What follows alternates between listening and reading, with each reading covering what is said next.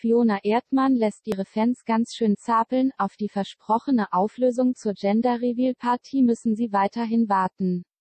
Ungeduldig machen viele von ihnen nun ihrem Ärger Luft. Fiona Erdmann, 33, hat am 24. Januar 2022 ihre Gender Reveal Party veranstaltet.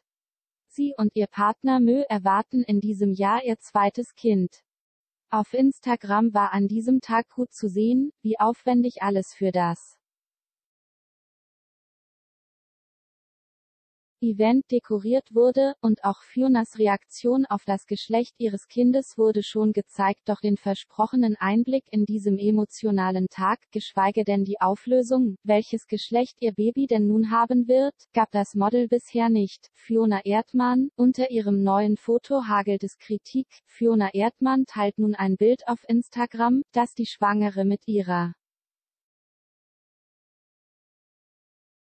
Babykugel zeigt. Sie schwärmt davon, dass ihr Bauch so rasend schnell wächst, das aber bei ihren Fans nicht unbedingt für Likes und Herzchen sorgt. Sie wollen endlich das versprochene Video sehen, in dem Fiona das Geschlecht ihres Kindes verrät. Wie genau die Fans ihrem Ärger Luft machen, sehen Sie im Video.